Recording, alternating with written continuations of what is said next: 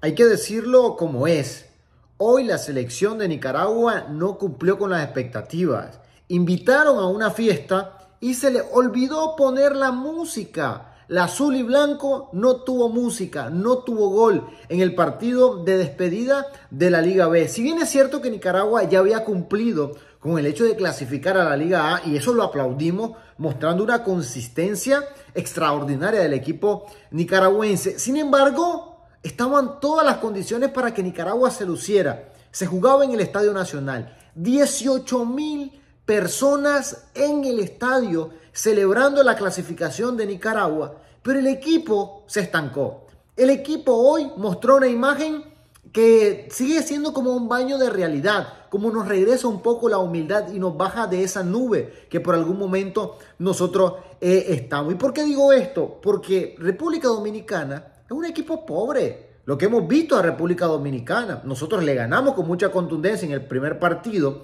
Luego eh, Dominicana lo vimos perder contra Montserrat, sí, contra Montserrat, dos goles por uno. Y ese equipo, que es un equipo sin oficio, es un equipo que no, que no representa mucho peligro realmente, no tiene ese colmillo como, lo, como podría ser Honduras, como podría ser Costa Rica, como podrían ser los equipos centroamericanos.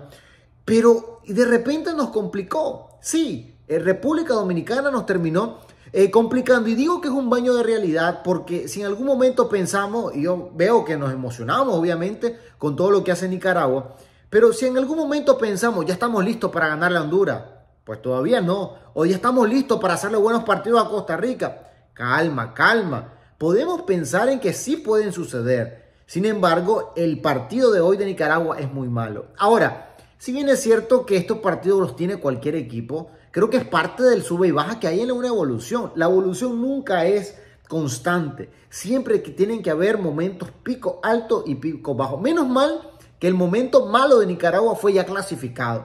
Fue cuando ya prácticamente no se estaba jugando nada, solamente el honor. Y Nicaragua, pues, si bien es cierto que no cumplió con las expectativas porque no ganó el partido, finalmente eh, tampoco lo perdió, pues. Y creo que al final las personas no se fueron tan contentas, pero al menos no se fueron total, eh, totalmente triste. Nicaragua lo intentó de diferentes maneras y nunca llegó el gol. Eh, en el minuto 22 tuvo el cabezazo de Juan Luis Pérez, luego el de Vanci Hernández, la pelota que le pone a Ragnar Esmila a Jason Coronel. Vemos el error de Brian López que le entrega la pelota a Coronel. Coronel hace el disparo y salva el mismo defensor. Qué susto en ese minuto 33 cuando Ricky Alba falló frente al arquero Miguel Rodríguez, que fue la figura de Nicaragua en la segunda parte, porque al minuto 50 tapa una pelota de Juan Pineda y luego en el 90 más 6 el disparo que hace un muchacho Aventura parecía que iba a ser el gol de República Dominicana. ¿Cómo nos salvamos de haber perdido ese partido? Pero bueno, Nicaragua acosó bastante con mucha contundencia en la segunda parte.